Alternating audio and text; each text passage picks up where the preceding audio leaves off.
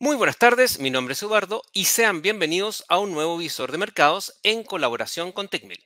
Para quienes no conocen al broker colaborador de este video, les comento brevemente. TickMill ofrece acceso a más de 180 instrumentos con algunas de las comisiones más bajas del mercado, dentro de las cuales se encuentran acciones, criptomonedas, forex, índices, bonos y materias primas. Las plataformas de trading ofrecen una de las ejecuciones más rápidas de la industria promediando 0.20 segundos en promedio por operación y sin recotizaciones. En el año 2021 recibió el premio a Mejor Servicio al Cliente de Forex en los Global Forex Awards. Si les interesa conocerlo en más detalle, los invito a que ingresen al enlace que se encontrará en la descripción de este video o audio.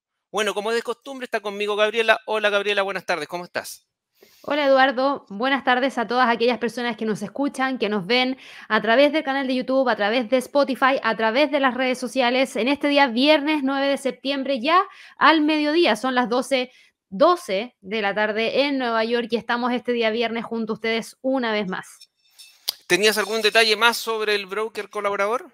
Sí, les quería comentar para todas aquellas personas que, bueno, les interesa probar al broker, les interesa conocerlo con mayor profundidad, que Aquí les vamos a dejar en la descripción de este video un enlace que los va a llevar directamente a esta página donde van a poder solicitar una cuenta demo gratuita. Lo más interesante que tiene de la cuenta demo es que van a poder elegir la plataforma entre la MetaTrader 4 o la MetaTrader 5 para crear su cuenta de práctica, el tipo de cuenta. Recuerden que el broker tiene tres tipos de cuenta, Classic Pro y VIP.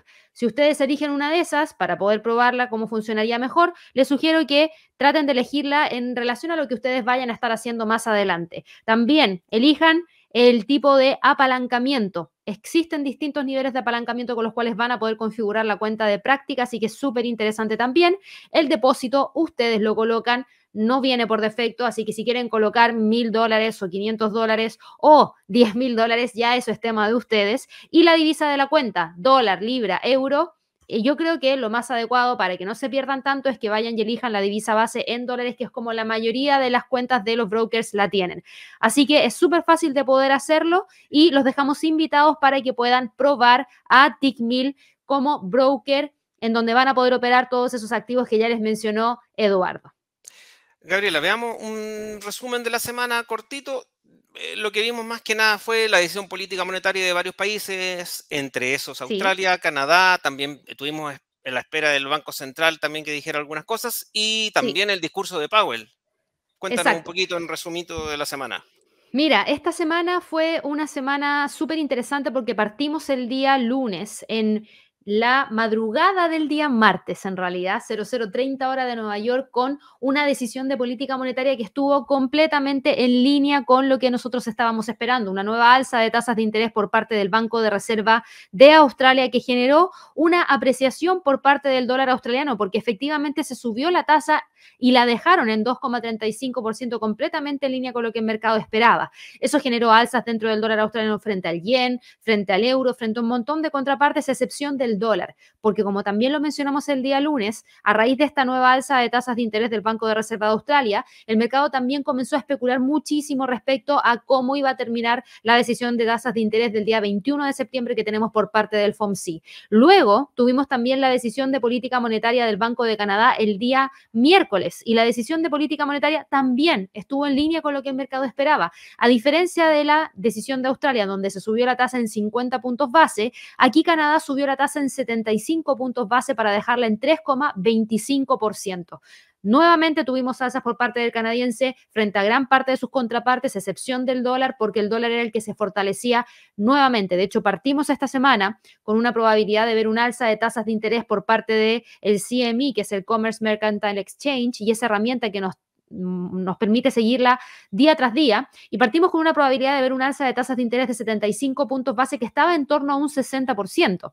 Luego de estas dos decisiones de política monetaria, esa probabilidad ya había subido a más de un 70% y luego el día de ayer, jueves, con la decisión de política monetaria por parte del Banco Central Europeo, quien subió la tasa de interés en 75 puntos base, esa probabilidad de ver un alza de tasas de interés de 75 puntos base por parte del FOMC el 21 de septiembre se elevó a más de un 80%. Entonces, claro, fue una semana súper importante porque ya nos permitió ver la postura que ha tomado el mercado. Gran parte de las noticias ya venían descontadas, sobre todo la que está más descontada, a mi parecer, es la decisión de política monetaria por parte del FOMC el 21 de septiembre, donde ya nadie espera que haya una tasa por debajo de 70, perdón, un alza por debajo de 75 puntos base, sino que se espera que sea de eso o más. Si es que llegamos a tener algún tipo de sorpresa en esa reunión, debería ser no por la tasa en sí. Ahora, Obvio, si la tasa está alejada de lo que el mercado espera, claro que va a ser una sorpresa, pero yo creo que lo más interesante va a ser ver qué es lo que va a estar ocurriendo ya durante la reunión y lo que se viene para los próximos los próximos meses. El día de ayer, como bien decías tú, tuvimos declaraciones por parte de Jerome Powell, el presidente de la Fed. Tuvimos nuevas declaraciones por parte de eh, el presidente de la Fed y él nos mencionó que eh, eh, la Reserva Federal está fuertemente comprometida con la lucha contra la inflación, pero sigue habiendo esperanzas de que pueda hacerse sin los altísimos costos sociales que supusieron las anteriores campañas para poder tratar de controlar la subida de los precios. Esas fueron las propias declaraciones que tuvo el día de ayer Jerome Powell en una entrevista de 40 minutos transmitida por internet con el presidente del Instituto Cato, Peter Gotler, y no se le preguntó sobre la reunión de la política del Banco Central a fines de este mes, en la que se espera que aumente su tasa de interés objetivo en medio tres cuartos de punto porcentual. Y el jefe de la Fed, que en este caso es Powell, no ofreció ninguna información sobre su preferencia. Entonces, claro, el mercado dice, la Fed tiene esta postura súper eh, enfocada de generar mayores alzas de tasas de interés. Powell reafirmó lo que ya se ha convertido en el mensaje del momento de la Fed, que es que los responsables de política monetaria no van a dar marcha atrás en las subidas de tipos previstas. Él dijo que tenían que actuar ahora con franqueza, con fuerza, como lo han estado haciendo y que van a tener que seguir haciéndolo hasta que el trabajo esté hecho. La Fed tiene y acepta la responsabilidad de la estabilidad de los precios. Así que él dijo que él y sus colegas están firmemente comprometidos con ese proyecto y que van a seguir en él hasta que el trabajo esté hecho. Eso generó movimientos dentro del mercado, principalmente movimientos de cierta calma, porque, insisto, ya la decisión de 75 puntos base se ve más descontada, fue lo que a principios de la semana generó presión dentro del mercado accionario, pero si bien te fijas tú, después de las declaraciones de Powell, al no entregarnos mayor información respecto a lo que va a venir para el resto del año, a excepción de lo que ya conocimos, el mercado empezó a corregir y ahora tenemos a un Standard Poor's cotizando en torno a un 1.03%. Los datos que se han estado entregando no generan tanta preocupación respecto a la salud del mercado actual. La próxima semana, el martes, vamos a tener la publicación de las cifras de inflación de Estados Unidos a través del reporte del IPC, que es el índice de precios al consumidor. Entonces, gran parte del mercado está tomando un respiro ahora, en un día en donde no teníamos fundamentales de alto impacto para Estados Unidos y el día lunes donde tampoco tenemos fundamentales para Estados Unidos para prepararse para lo que se viene el día martes. Eso es lo que ha estado ocurriendo y esta mayor eh, ansia de apetito al riesgo que existe entre los mercados también saltó para el mercado de las criptomonedas. Hoy día el Bitcoin sube casi un 10% buscando los 21.500. Ethereum sube 4,85% y está tratando de quedarse también por sobre los 1.700. Hemos visto que al mismo tiempo, como sube el mercado accionario, como suben las criptos, lo que ha estado cayendo es el dólar y tenemos hoy día el dólar index con un retroceso de 0.58%, así que creo que es algo bastante interesante de monitorear, de seguir. Yo creo que vamos a tener que estar muy, muy atentos a todo lo que ha estado ocurriendo durante la jornada de trading del día de hoy y lo que se viene ya para la próxima semana. Bueno, y la próxima semana también tenemos un webinar, Gaby, que creo que tú lo vas a ver. Cuéntame un poquito en detalle qué es lo que verás en este webinar. Sí, ya está disponible dentro de nuestro sitio web en recursos gratuitos, webinars y eventos, el webinar de la próxima semana a pedido de ustedes.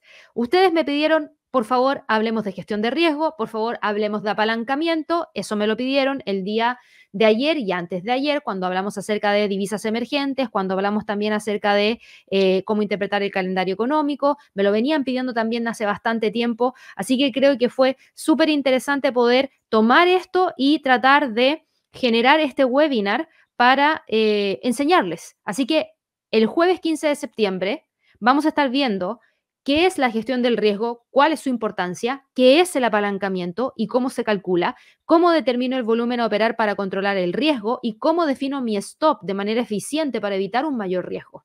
Recuerden registrarse, es gratuito y de esta manera ustedes van a poder participar o si es que no pueden participar ese día en ese horario, no importa, regístrense igual porque les va a llegar la grabación del webinar realizado.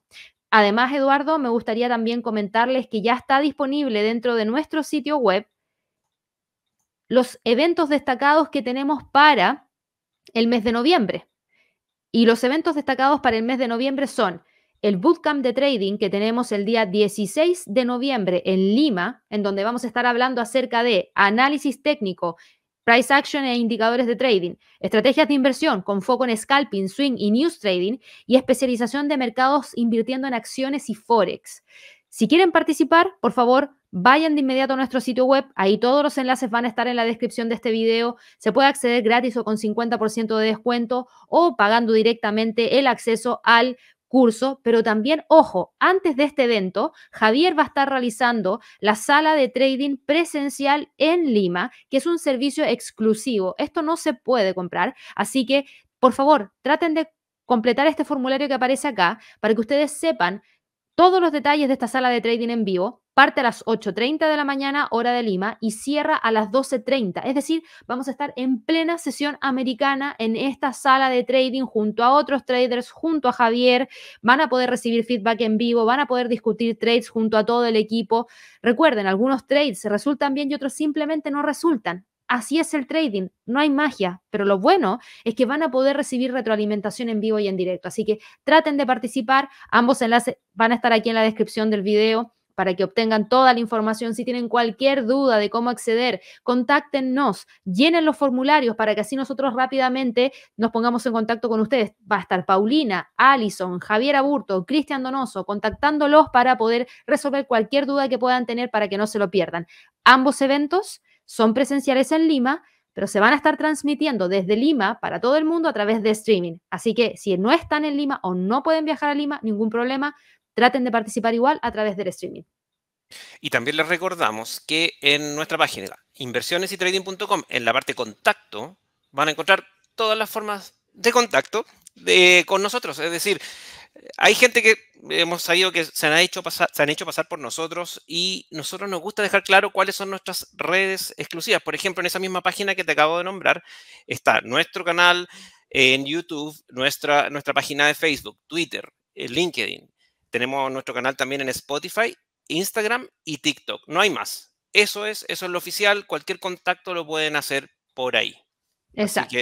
Gaby, bueno, em, y que no me queda nada más que recordarles que eh, este visor de los mercados está siendo presente a ustedes gracias al broker colaborador que es TICMI. Gaby, ¿qué es lo que se nos viene ya para la próxima semana entonces? En resumen, lo que se viene para la próxima semana es, ya lo mencioné, el IPC de Estados Unidos el día martes, dato súper, súper importante. Eh, también no podemos dejar de mencionar el fallecimiento de la reina Isabel que pasó esta semana y que, ojo, debería dejarnos con... Eh, feriado en Inglaterra? Sí, con feriado al décimo día después del fallecimiento. Falleció el 8, por ende debería ser el 18 de septiembre. Así que ahí deberíamos tener eh, algún tipo de festivo a nivel local. No sé si necesariamente va a cerrar la bolsa porque como el día 18 cae día domingo, puede que no necesariamente la bolsa de Londres esté al 100% cerrada. Hay que estar muy atentos a eso, se los vamos a estar actualizando igual de todas maneras, pero sí quiero que se fijen en lo siguiente. El lunes partimos con Producto Interno Bruto para el Reino Unido, producción manufacturera para el Reino Unido. El martes, datos de mercado laboral para el Reino Unido. Vamos a tener las cifras de inflación para Estados Unidos. Ojo, se espera que caiga de 8,5 a 8,1%. El miércoles, inflación para el Reino Unido, índice de precio productor para Estados Unidos, Producto Interno Bruto para Nueva Zelanda, datos de mercado laboral para Australia. El jueves, Día súper importante también, decisión de política monetaria del Reino Unido, que en esta oportunidad se espera que mantengan la tasa en un 1,75% por la recesión que se les viene. Vamos a ver si es que realmente lo hacen o no. Va a ser un día súper importante para la libra esterlina frente a todas sus contrapartes. También vamos a conocer ventas minoristas para Estados Unidos, indicador manufacturero para Estados Unidos, indicador de producción industrial para China y el viernes cerramos con Día de la Independencia para México. Va a ser festivo en México ese día en Chile también va a ser festivo porque nosotros tenemos nuestro Día de la Independencia el día 18 de septiembre y el gobierno tomó la decisión, no, el Congreso tomó la decisión de que el viernes 16 de septiembre también fuera festivo en Chile, así que ahí no vamos a estar transmitiendo los lives de premercado americano ni el visor de mercado porque es un día festivo, vamos a actualizar en nuestro sitio web esa festividad. Y también, ojo, que van a tener ventas minoristas para el Reino Unido e inflación para la zona euro. Si se fijan, es una semana súper importante con eventos fundamentales donde destaco inflación, mercado laboral y decisión de tasas de interés. Gaby, creo que ya no tenemos nada más que decir. ¿Tienes alguna, algún tema que se te queda? No, pero si nos están viendo por primera vez, no se olviden de suscribirse a nuestro canal. Recuerden darle clic a la campanita de notificaciones y ojalá que nos regalen muchísimos likes. Y también en relación a lo que mencionaba Eduardo del broker colaborador de este evento, les recuerdo en el enlace de la descripción de este video, si quieren conocer más en detalle a TICMIR, está el enlace que los lleva directamente a la página.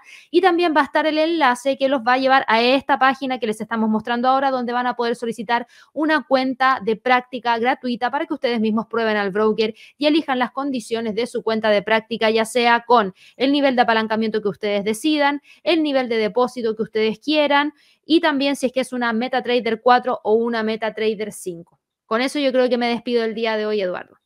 Ok, que tengan todos un excelente fin de semana y esperamos sus likes. Exacto, que estén muy bien y nos vemos ya el día lunes en un nuevo live de Premercado Americano. Hasta luego.